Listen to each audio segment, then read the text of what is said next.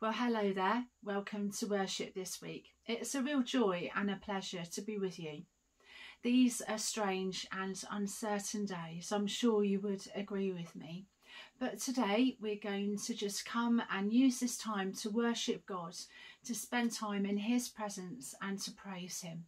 And our first song today is from our Salvation Army songbook. It's number 486. The words are Be glad in the Lord and rejoice. And the song is very matter of fact. It describes some circumstances that might be up against us. But let's just know the fact that we can rejoice and be glad in God. Let's sing these words together.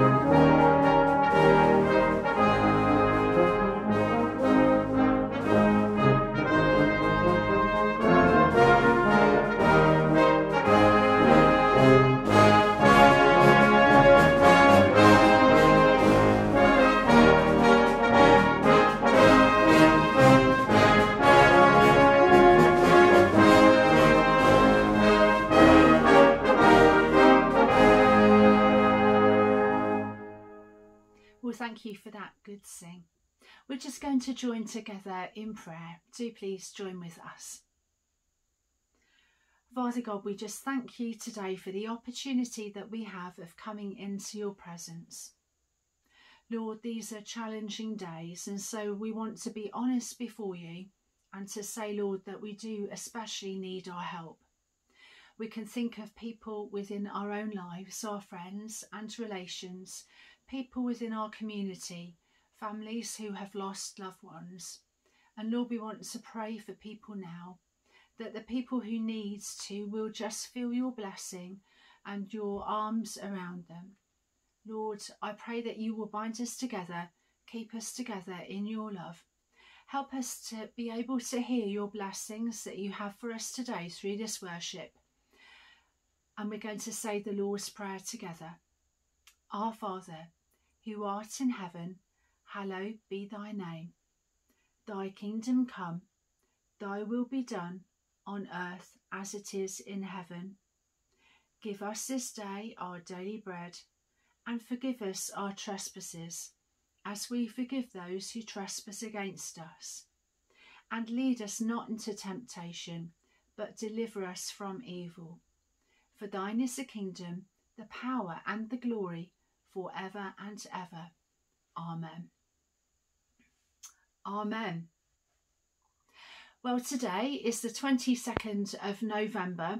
It is the Sunday before Advent begins. And um, traditionally, I believe this Sunday is called Stir Up Sunday. So, Um, I don't know how many of you have been making Christmas puddings or Christmas cakes over these past few weeks. Um, your arms might have got stronger as you've been stirring up the actual pudding mixture.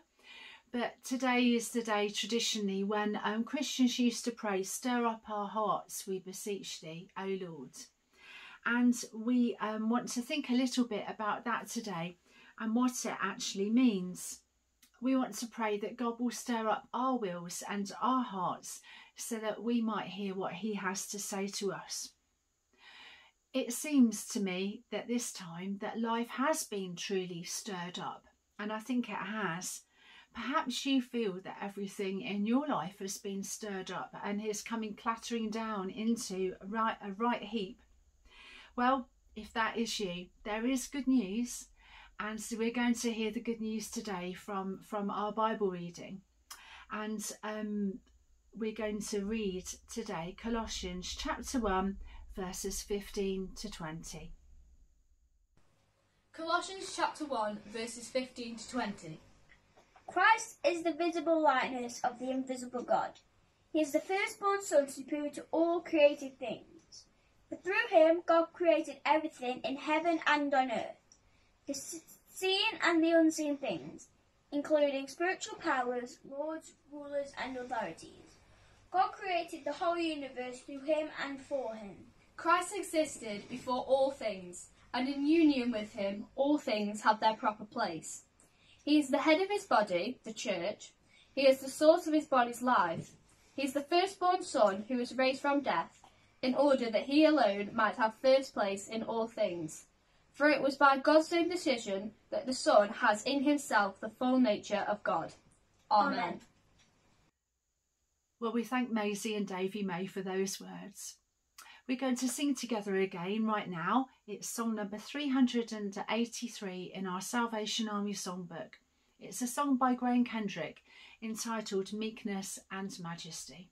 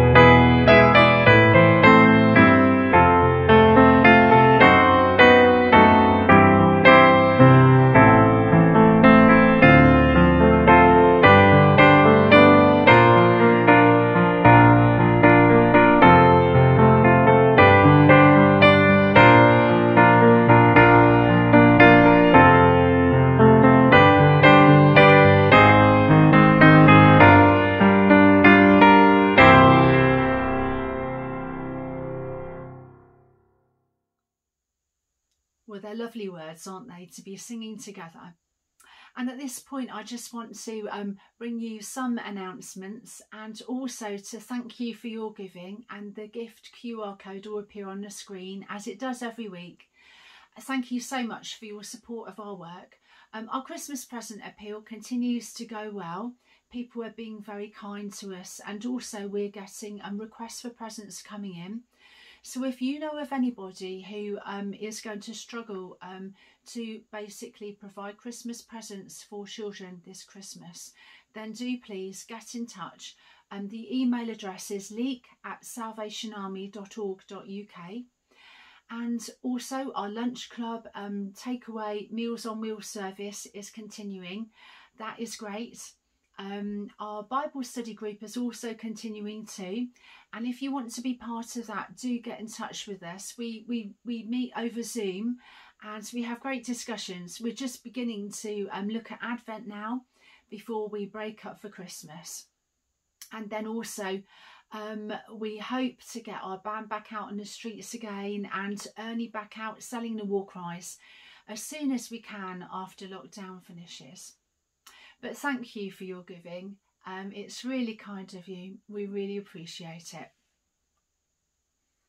So we just heard our Bible reading just now from the first chapter of Colossians. And um, I came across this poem and it's written by um, a man called Dave Hopwood. And the poem is based around this Bible reading. It's called Reconciled and I thought I would read it to you just now. He is the image of the invisible God, the firstborn of all creation. God with flesh on, dressed in our clothes, walking, talking, weeping, laughing, eating, drinking, working, resting. For in him and through him all things on heaven and in earth were created things visible and invisible. This physical world, the spiritual, emotional, and psychological, people, places, planets, and personalities. He himself is before all things, and in him all things hold together. He is the divine bond, the mediator, the Prince of Peace, the architect, holding the universe, holding people, holding the future. He is the head of the body, the church, this ragged collection of believers, this dysfunctional family, this holy temple. You and I struggling to get along, holding his treasure in these stumbling bodies, these jars of clay.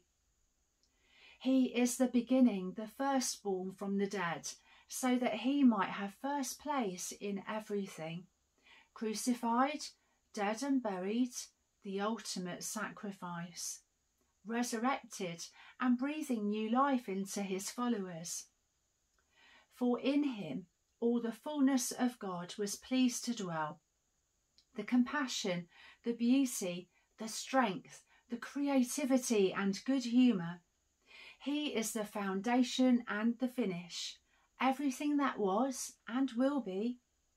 And through him God was pleased to reconcile to himself all things, whether on earth or in heaven, the cosmos and the countries, the universe and the individual, the people and the planets, reconciled to himself by the peace made through the blood of the cross of Christ.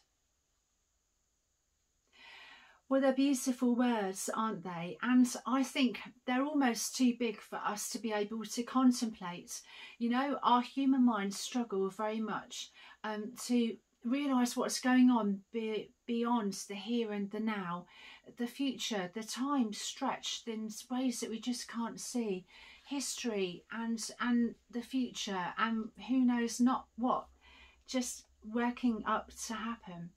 It's too much for us to think about. So I wonder what words what words God has got to say to us today through this Bible reading. We look at our world and we see perhaps confusion, worry and chaos, despair, tiredness perhaps in the second lockdown, perhaps even a lack of hope, no end to the tunnel, let alone a light at the end of it. But what does God say, I wonder? Well, you know, um, God sees the very big picture. We think about the earth, we think about the universe, we think about the Milky Way, all of those things that are just beyond our imagining. So God is able to take in the long view. You know, God, He's not bound by time and space like we are. So God looks at the world and He sees His plan being worked out. Yes, don't get me wrong, God sees too chaos and confusion and despair.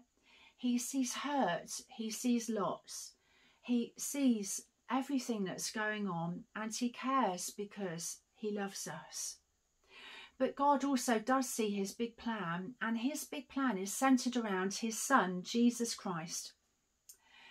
Now, I don't know about you, but it's often, I think, that we think about Jesus who lived and breathed and walked on this earth 2,000 years ago as a normal person like you and like I. And we're going to celebrate his birthday on December the 25th, I think.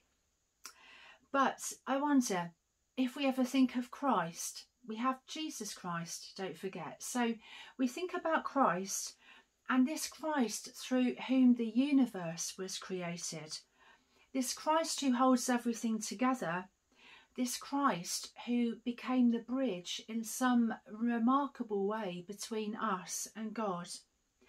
Jesus Christ, who is truly and properly human and truly and properly God. Jesus Christ, who loves us so much that he died for us, for you and for me. So this is just an inkling of the big picture which God sees. But what does it mean for us today?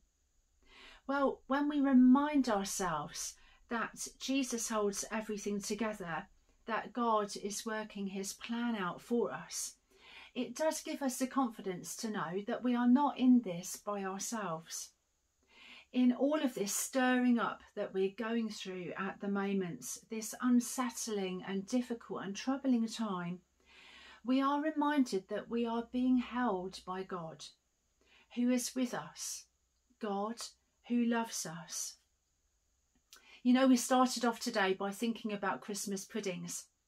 And when I made my Christmas pudding this year, um, I had a humongous, massive mix of, of ingredients in a very, very big bowl and stirring it was hard work. It was a lot of mixture to get around to make sure that everything was combined. And you know, um, when I finished stirring, I had to leave it overnight before I put it into a few um, pudding basins and bowls and things to cook. And um, I looked at the mixture and it wasn't particularly appetising, to be honest with you. But I'm really pleased that when it actually came out of being steamed for all that time, it did look and it does smell absolutely beautiful. So I'm full of hope for our Christmas Day dinner. I'll let you know how it goes nearer the time. And you know, that I think that that picture is a bit like our lives at the moment. We have mess, we have chaos. It doesn't look appealing. This lockdown is often, I think, bringing the, the, the sharper sides of us to the surface. You know, we grace along with other people sometimes. But yet, when we remember that we are held by God, that He is in control, that He has got everything planned, it's okay, it's all right, it will turn out fine, and we can have faith and we can hold on to that at the end of the day that God is in charge. So, whatever is worrying us, whatever is concerning us today, let's give it to God. He has big shoulders. He can take what our worries are. So talk to Him about it. God is with us, and we can be confident to know that everything is held together and God can make everything beautiful in its own time. Well, we've done a lot of thinking this morning, so um, we're going to actually do a bit of listening now for a change. And there is a beautiful song that we're going to listen to just now. It's sung by Matt Woods and it's entitled take my life.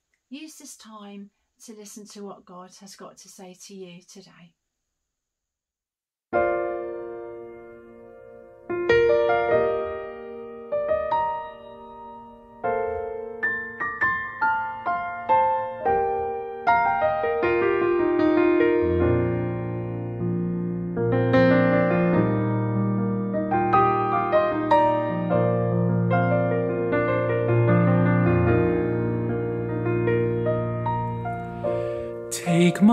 Life and let it be consecrated, Lord, to Thee. Take my moments and my days, let them flow in ceaseless praise. Take my hands and let them move impulse of thy love. Take my feet and let them be swift and beautiful for thee.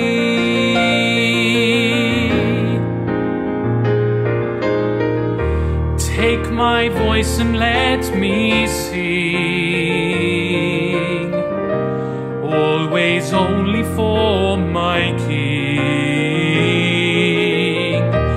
Take my lips and let them be filled with messages from thee.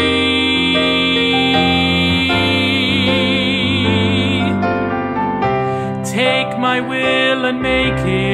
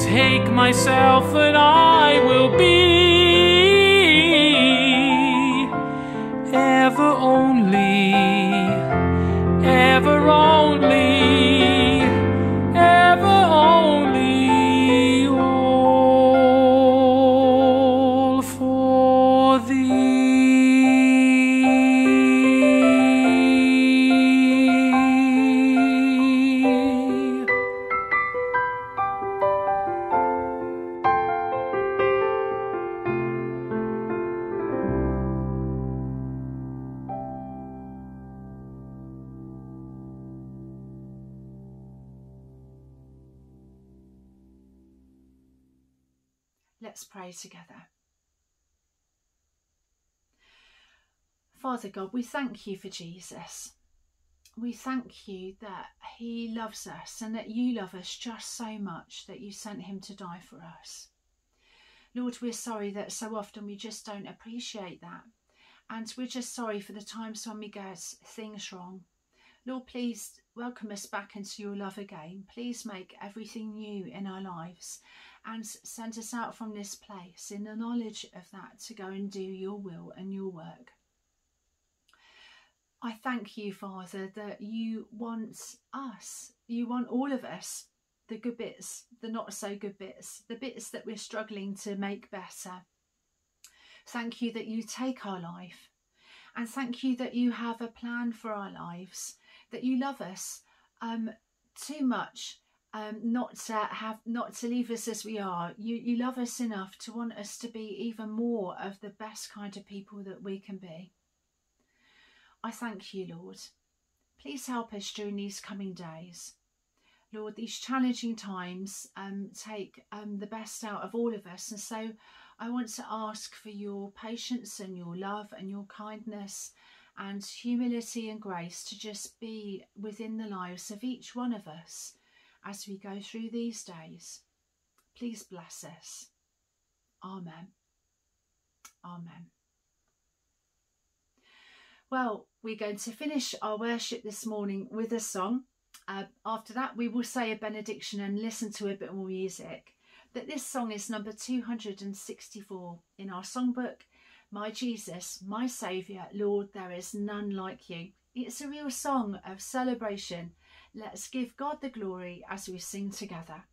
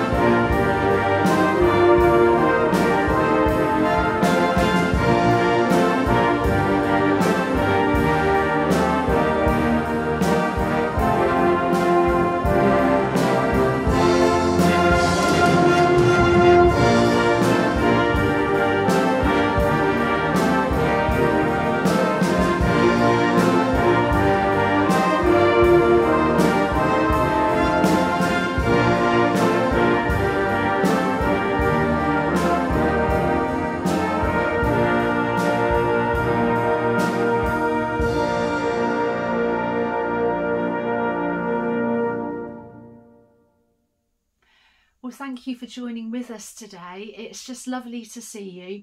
Do please post um, a like or a comment on our Facebook page or on our YouTube channel. Um, it would be lovely to hear from you. And to know that you are watching and so that we can make a connection with you would be absolutely great. We're going to finish with our benediction. This, this is the God we adore, our faithful, unchangeable friend whose love is as great as his power and knows not beginning nor end. Tis Jesus, the first and the last, whose spirit shall guide us safe home. We'll praise him for all that is past and trust him for all that's to come. Amen. Well, I pray that God will really bless you in these coming days.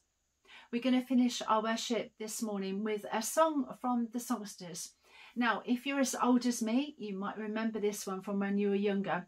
It's entitled Step Out and it speaks of the um, the good things planned when we have the confidence to step out in God's love and his care for us. And my closing prayer is that you will be able to step out this week as you go out in God's love and care. God bless you.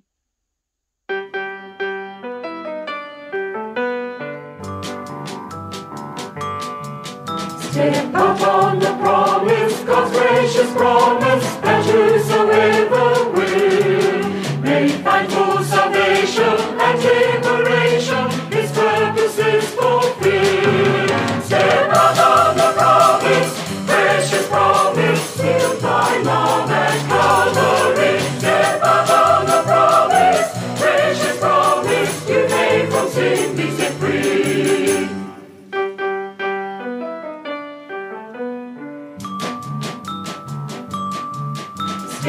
Out into pardon, God-given pardon, redeeming grace will flow. Step out into pardon, God-given pardon, His fullness you shall know.